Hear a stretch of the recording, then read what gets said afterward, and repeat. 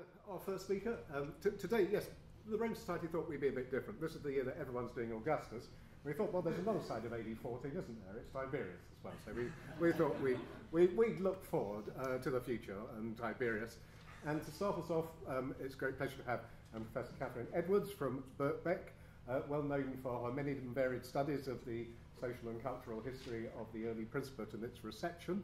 And I will not blather on more, but uh, invite her to talk on the great devotion of our princeps to his mother, Tiberius and Livia.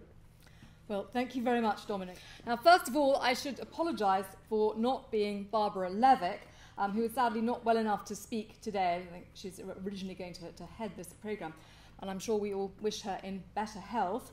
Um, it's an honour, though one I'm scarcely worthy of, to be asked to speak in her place. I'm going to start with um, there we are, it's Livia from the British Museum. So, um, and then family tree. I don't know how legible that is. There's an awful lot of people on there. I mean, don't don't worry too much uh, if the detail isn't apparent. It's mostly about kind of overall impressions.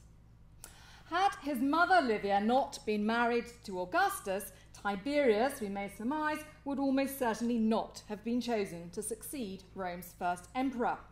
We'll leave aside for today the question of whether or not Livia had a hand in the deaths of Augustus' own grandsons, Gaius and Lucius, whom he had designated to succeed him, not to mention the death of his other grandson, Agrippa Postumus, some time later.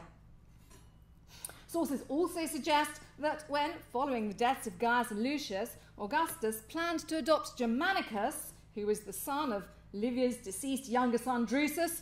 I'm getting pretty doony, the uh, uh, but uh, where is Germanicus is there. Drusus, there's dead Drusus there. And there's yellow Livia up there. Um, so Augustus had planned to adopt Germanicus, who was the son of Livia's deceased younger son Drusus, and also of Augustus' niece. It was Livia who persuaded him rather to adopt her own older son, Tiberius, who had no blood connection to Augustus. Tacitus, for instance, reports, and this is passage one in your handout, for Augustus had considered putting Germanicus, his sister's grandson, and a man praised by everybody, at the head of the Roman state. He was, however, overcome by his wife's entreaties, Precibus uxoris evictus, and arranged for Germanicus to be adopted by Tiberius and Tiberius by himself. That's uh, Yardley's translation. This was in AD 4 when Tiberius was an experienced general of 44, while Germanicus, by contrast, was only 17.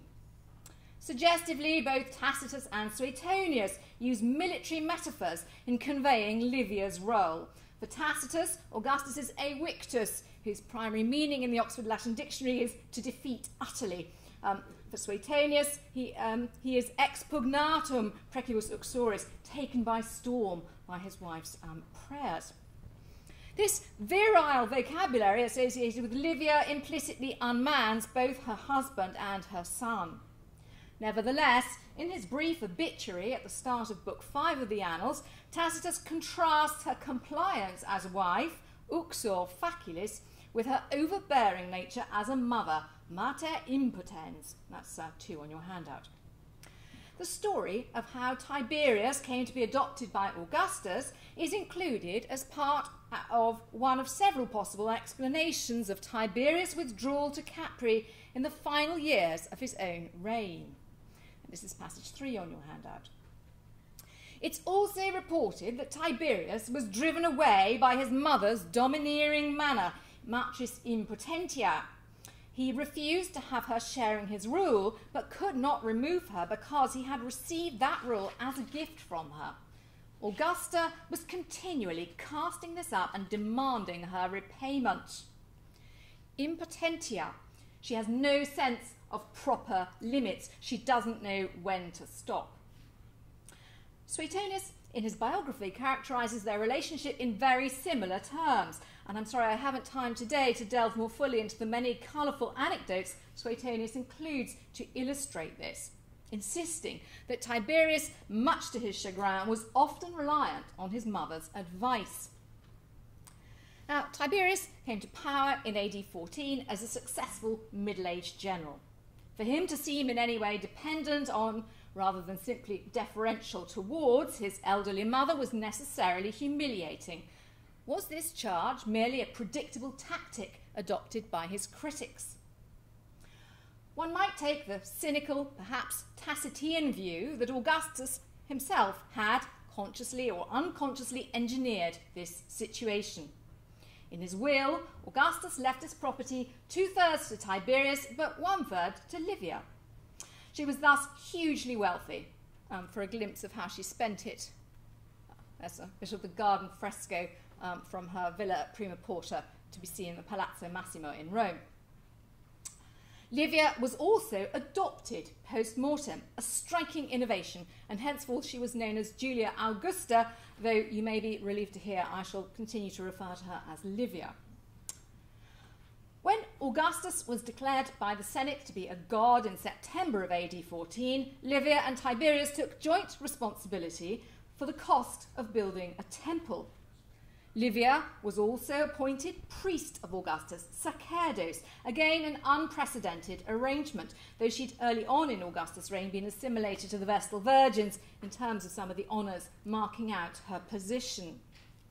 Um, and there's, there she is, um, that fabulous uh, cameo from Vienna with uh, the, the, the now dead bust of Augustus.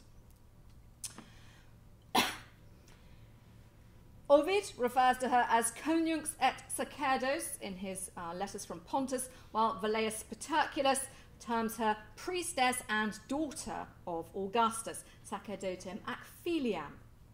Um, and in terms of her, her priestly role, um, the, the uh, poses in which she's represented in, in, quite a number of statues uh, seem to reflect this. So there's one from that's Otricoli, and that's um, one from Herculaneum. Even if Augustus himself had no hand in the arrangements regarding his divinization, his will itself created a potentially problematic situation for Tiberius in elevating Livia in this unprecedented way. Livia's position had an established public dimension well before Augustus' death, of course, as Nicholas Purcell's classic article of 1986 so elegantly demonstrated. I've already mentioned the distinctions she shared with the Vestals. Her name was inscribed on public buildings, some of which she herself had sponsored. Um, her statue was to be seen in numerous locations in Rome and elsewhere. She was celebrated as an intercessor for and supporter of those who applied to her for help, um, something most obviously celebrated in the Consolatio addressed to her following the death of her younger son, Drusus. Yet this development, this new public role for a woman, was not something which only affected Livia. Mireille Corbier, in her contribution to a volume edited by Barbara Levick and Richard Hawley, um, has underlined how significantly the new family unit of the Julio Claudians differed from the traditional patrilinear aristocratic family of Republican times. From 20 AD, we find references to the Domus Augusta, the, uh, the imperial house, suggesting official recognition of this new family unit. And the term it may have been in use earlier. Certainly, the group of family members visible on the frieze of the Ara Pacis, um, and this figure in the middle, um, the female figure is variously identified as Livia or Julia. In some ways, it doesn't quite matter which it is. Um, this is one part of the frieze, and then here is, another cluster of family members, including several um, women in, in um, this section too. Um, this uh, altar, which was dedicated on Livia's 50th birthday in 13 BC, could also have been um, described as representing the Domus Augusta. As Corbier underlines, most of the male family members represented here um, are related, sorry, most of the men represented here are related to Augustus, aside from the priests. But in every case, these male family members are related via Augustus's sister, his wife, or his daughter. So it, it, the female family members uh, play a critical part in tying these men back to Augustus. Um, and the somewhat hard to read family tree underlines that point further. I'm sorry, it's uh, not very legible. The succession of a new emperor, however, marks a critical new departure in how the imperial family is itself perceived. How did Livia make the transition from being emperor's consort to emperor's mother? What official role might the emperor's mother have? And how was this role viewed, indeed constructed, by contemporary Romans and indeed later writers? Tacitus, Suetonius, and Dio, writing later, give a largely consistent account of Livia's role. I mean, there are sort of internal tensions, but they, they do agree in terms of what those tensions are to a large extent. They stress her extensive influence um, and her increasingly fraught relationship with Tiberius.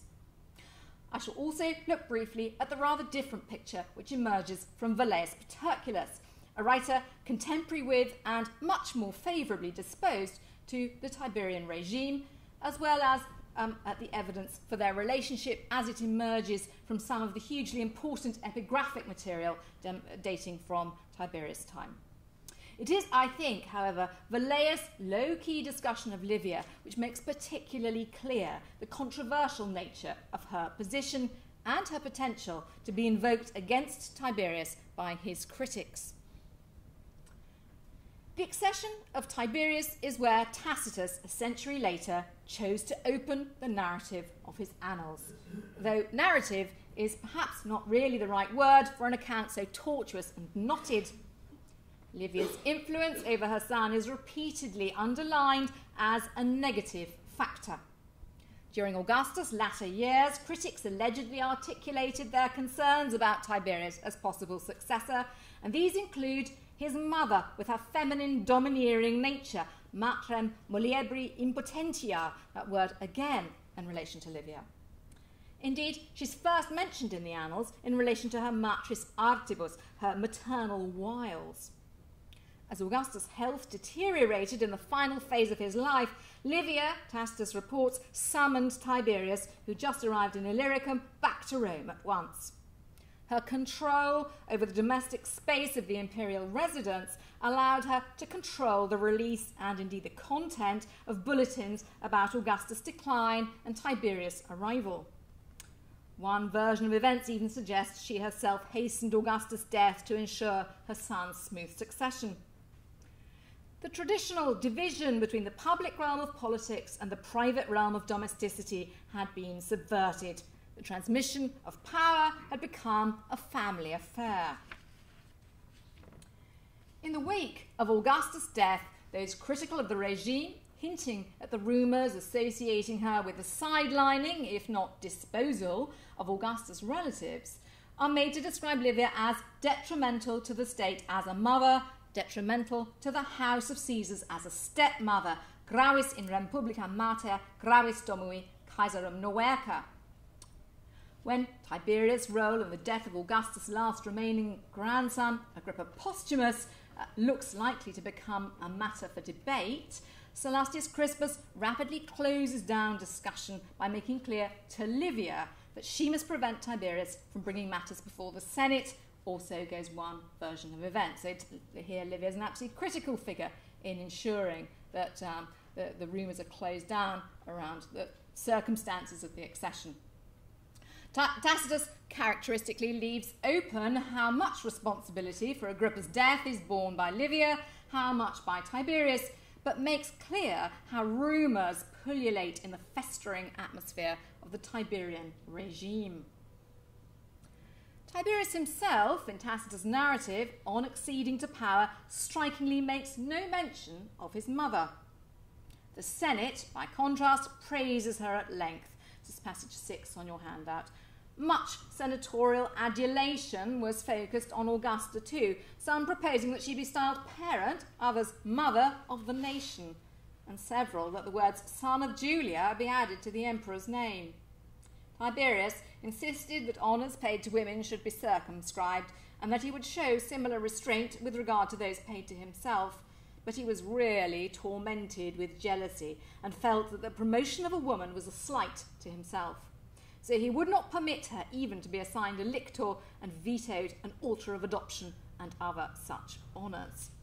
uh, some dispute over whether he, he really did succeed in uh, forbidding her uh, a lictor. But in any case, um, in, the in the Tacitean account, if Tiberius is disingenuously reluctant to accept honours for himself, a leitmotif of his reign in the Tacitean uh, account, he is emphatically opposed to honours for his mother. Anxious to please senators have failed to realise this insistence on honours for Livia is tactless, or else they're doing it on purpose to annoy Tiberius by emphasising his mother's role in securing the empire for her son. Some honours were allowed to Livia, however. I've mentioned her position as sacerdos of Augustus. Her name was included with that of her son in the yearly vows of the Arval Brethren for the safety of the ruler. Um, now, there we are. Um, the uh, obverse of this Sestertius of Tiberius refers specifically to Livia with the inscription SPQR Julii Augusti um, and shows a lovely carpentum or covered cart drawn by mules um, riding in such a carriage for public festivals. Um, was a particular privilege reserved for the Vestals and granted by the Senate um, as a special honour to Livia. Numerous statues of Livia, many on a colossal scale, are attested from different parts of the empire, which clearly date from after Tiberius' accession. Uh, it's one of Livia with the attributes of Ceres, and this uh, enormous uh, statue of Livia from uh, Leptis Magna. Some of these, um, not, not these particular ones, but, but uh, of this massive statues of Livia, some uh, made date from the reigns of Caligula or Claudius, um, and that's something we'll come back to later. In the course of Tiberius's reign, embassies from different parts of the empire sought leave to honour the emperor's mother. Tiberius granted some requests and referred others to Livia herself. In the case of the honours from um, of the offer of honours from Gytheion near Sparta, for instance, and this is a, a community with which Livia had a very long-standing um, connection. Livia was to make her own decision, according to the letter of Tiberius, which survives in an inscription. But some, such as um, the offer uh, made by the 25 AD deputation from Baetica, seeking to erect a shrine in honor of him and his mother, he simply declined. While Tacitus argues that Tiberius greatly resented his mother's position, Anxius Invidia, um, Anthony Barrett, in his 2002 biography of Livia, insists rather that the large number of honours Tiberius did allow makes clear this was far from being the case. Barrett does, however, concede that Tiberius may well have been uncertain as to how best to accommodate his mother's unprecedented position. Livia died in AD 29, 15 years after her son's accession to power. Tacitus' epitaph for Livia Book 513 comments, she was a good match for her husband's craftiness and her son's hypocrisy. Tiberius, he underlines, did not attend her funeral. Seven on your handout.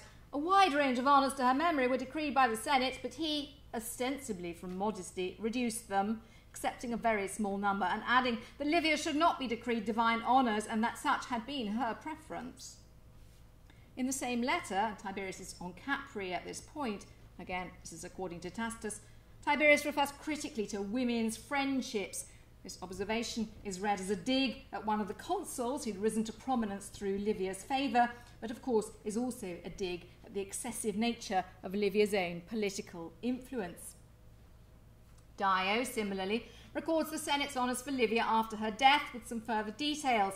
The senators voted to name her Mother of the Country and to build an arch in her honour, a distinction conferred on no other woman because she saved the lives of not a few of them and reared the children of many and had helped many to pay their daughters' dowries. Tiberius says no to the title and by proposing to take personal responsibility for building the arch manages to prevent it from going ahead. In some ways, the most conspicuous demonstration of Livia's position in the state during her son's reign is offered by the events surrounding the premature death in Syria in 19 of her grandson Germanicus, a figure who evidently enjoyed widespread popularity in Rome and beyond. This episode is of particular interest since, besides Tacitus' detailed treatment, we also have a series of inscriptions discovered in Spain in the late 20th century recording public documents relating to the aftermath of his death. On his deathbed, Germanicus was said to have alleged that he'd been poisoned by Gnaeus Calpurnius Piso, according to Tacitus. Piso, legate of Syria and a close associate of Tiberius, had been in dispute with Germanicus. Also implicated in the alleged poisoning was Piso's wife Plancina, a friend of Livia, who'd been with her husband in his province. Back in Rome, rumours were evidently flying. A trial was felt to be necessary. In 20 AD, Piso and Plancina were both indicted. Piso, fearful of the outcome, took his own life, or at least he was found dead in his cell. Had Piso intended to implicate Tiberius himself? stories circulated of the disappearance of an incriminating letter from Tiberius to Piso. But in relation to Livia's position, what's really interesting is the fate of Piso's wife, Plancina. Fragments of bronze tablets from a number of locations in the empire record the Senatus Consultum de Pisone Patre, the senatorial decree on the elder Piso. Uh, um, Copies of this decree, passed some months after the trial, were set up all over the empire, something which suggests ongoing public concern about what had happened to Germanicus. These documents, fascinating for a great number of reasons, are helpfully discussed in um, 1997 JRS by Miriam Griffin, reviewing the edition of Eck, Caballos and Fernandez of 1996, and they're also the subject of a, a useful recent book by um, Bert Lott the Senate decrees um, that punishment be remitted in the case of Piso's wife Plancina, against whom many serious charges, plurima et gravissima crimina, had been laid, according to the inscription. The reasons given are not only her confession, but also, and this is um, nine on your handout, seeing that our princeps has interceded on behalf of Plancina at the request of his mother and that he has accepted as just the reasons set out for him by his mother why she wished these things to be granted.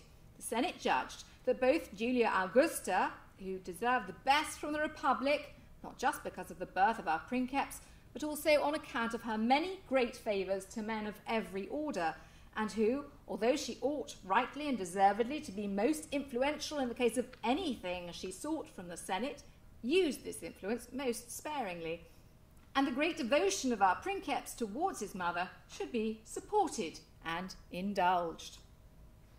Mm. Tacitus notes the reprieve for Plancina, which he similarly attributes to Livia's influence, also adding that this was Plancina's reward for acting against Germanicus' wife Agrippina, to whom Livia herself was increasingly hostile.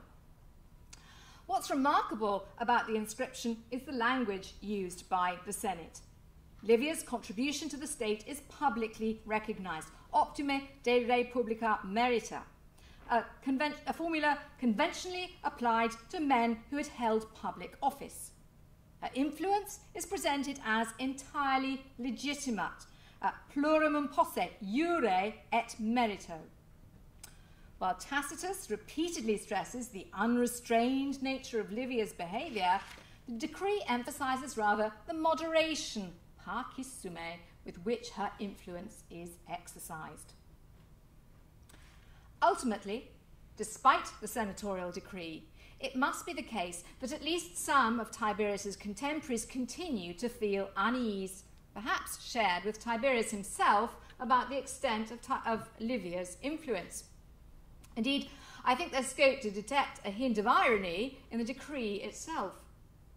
It is surely telling that Velleius Paterculus, an historian who insistently parades his loyal commitment to Tiberius, and we'll be hearing a lot more, I think, about Velleius a bit later from Eleanor Cowan, but Velleius has actually very little to say about Livia, although he does open uh, the Tiberian section of his narrative with a reference to her. Implicitly, he, Velleius rebuts the claims of Tiberius' critics that his position was owed to his mother. Rather, for Velleius, Tiberius is the obvious successor to Augustus his, because of his merits and virtues. It was only because of his own earlier protestations that Tiberius had not been adopted years previously, according to Velleius. Even Velleius, however, refers to Livia's potentia, though he insists she only used it to help people. Livia, he says, in all things resembled the gods more than mankind, per omnia deisquam hominibus similio femina. Some have detected a hint of criticism here for Tiberius' decision to turn down the Senate's proposal that she should be deified, though Velleius, in strong contrast to Tacitus, does insist that Tiberius is afflicted with a proper degree of grief at losing his mother. It's perhaps significant that these comments on Livia conclude the penultimate chapter of Velleius' history.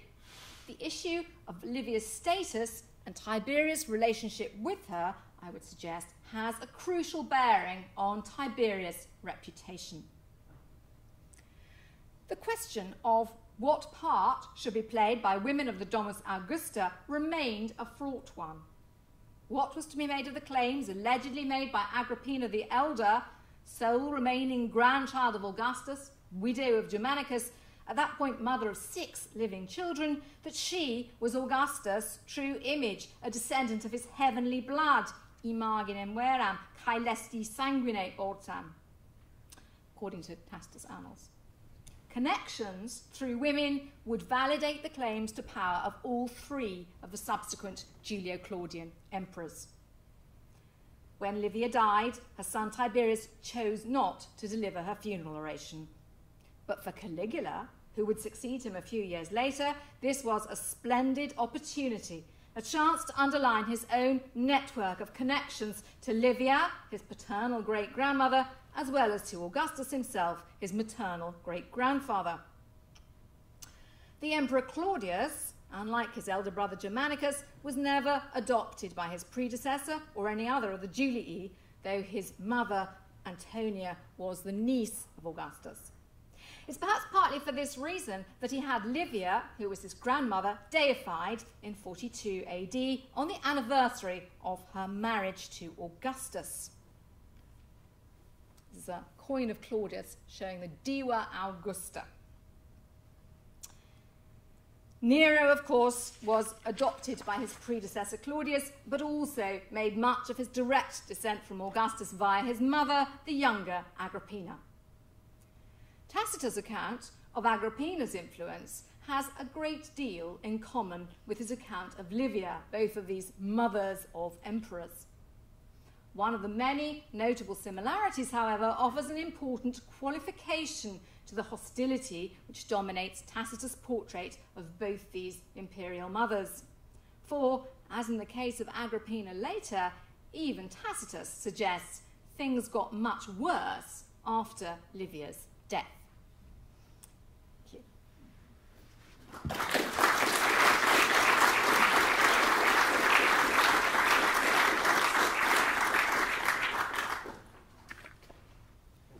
And uh, we do have um, a bit of time because we, um, uh, we've got a generous half hour for tea, so we can easily afford a few minutes to have questions. Uh, and um, people are also um, welcome to ask questions of, um, of, of Catharine, should they wish to. And could I just start off with one question? One thing that uh, I'm vaguely aware is is misleading is the way that if you go to the Palatine, if you look at, uh, at plans of it, you have the the house of Augustus, and then you've got the house of Livia.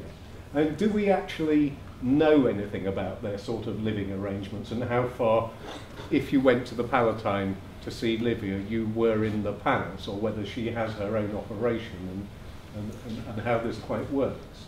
Well, I'm conscious that Amanda's sitting here. He yeah. knows way more about this than I do.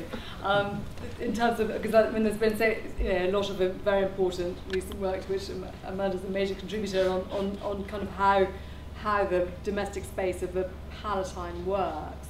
I mean, I think it's no longer, um, please correct me if I get this wrong, but I mean, it's, it's, it's no longer thought to be the case that there are these separate houses no. lived in uh, simultaneously uh, by the imperial family. I just wonder um, whether uh, uh, Catharine Edwards might like to comment on um, uh, what to me has always been a very um, moving episode, which was that um, uh, Tiberius was actually deprived of the love of his life when he was made to divorce uh, Vipsania uh, and marry uh, uh, uh, Julia and become Augustus's uh, son-in-law. And the story, I think, uh, is told that sometime after this happened, Tiberius caught sight of Vipsania in the street somewhere and followed her for some time, and the word got out that this was going on, and so orders were issued that she should never be allowed in his sight again. And it seemed to me that a lot of the, I mean, that must have surely had a terrible effect uh, upon him, uh, especially bearing in mind the, the, the, nature of, of his new bride, as it were. Well, one might say perhaps it had a terrible effect on her, being forced to marry Tiberius, which can't have been a particularly attractive option. Um, yes, I mean, I, I think it, it, it is a, a very striking example of where dynastic politics um, involves people divorcing and remarrying against the will of the parties concerned, only doing it kind of under pressure from from um, from above, and and that's by no means the only example in the imperial family of of, of that happening. I mean, um, in fact, earlier on, I think uh, Mark Antony um, divorces one wife in order to marry um, Augustus' sister.